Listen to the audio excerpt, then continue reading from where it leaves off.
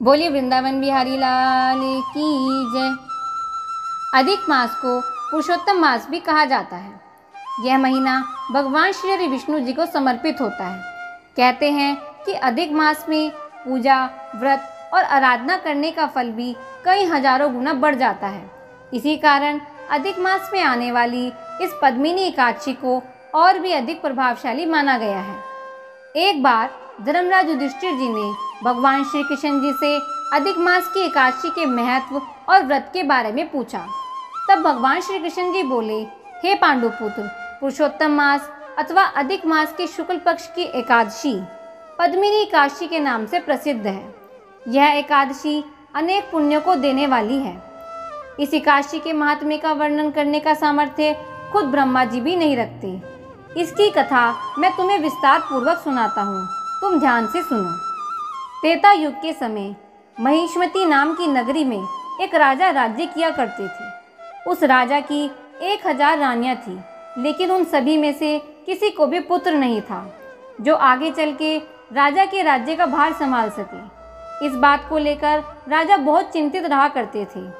राजा ने हज़ारों यज्ञ पूजा पाठ और तप किए। देवता और पितरों को भी प्रसन्न करने का खूब प्रयास किया, परंतु सभी कोशिशें उनकी असफल रही। इसके बाद राजा ने निर्णय किया कि वह तपस्या करेंगे। जब राजा तपस्या के लिए जा रहे थे तो उनके साथ उनकी सबसे परम प्रिय रानी पद्मिनी, जो कि इश्वाकु वंश के राजा हरिश्चंद्र की कन्या थी, वह भी राजा के साथ वन में चलने के लिए तैयार हो गई। राजा और रानी दोनों गंधमादन पर्वत पर तपस्या करने के लिए चले गए। राजा ने उस पर्वत पर दस हज़ार साल तक तपस्या की।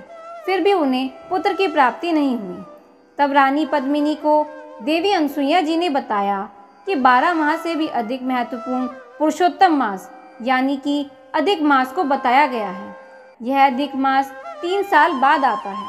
इसमें द्वादशी युक्त शुक्ल पक्ष की पद्मिनी काशी का व्रत कर पूरी रात जागरण करने से सभी मनोकामनाएँ पूरी हो जाती हैं। इस व्रत को करने से भगवान श्री विष्णु प्रसन्न होते हैं और पुत्र प्राप्ति का वरदान भी देते हैं।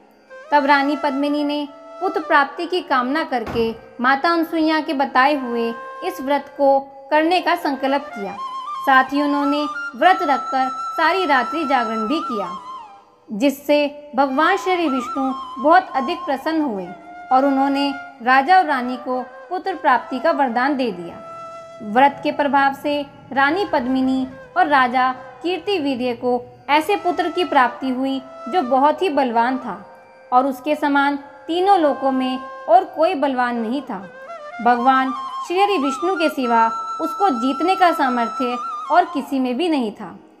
तो दो व्यक्ति अधिक मास के शुक्ल पक्ष की एकादशी का व्रत करता है और जो भक्ति भाव से कथा का पाठ करता है या सुनता है उन पर भगवान श्री विष्णु की कृपा बनी रहती है और उन्हें वैकुंठ लोक की प्राप्ति होती है।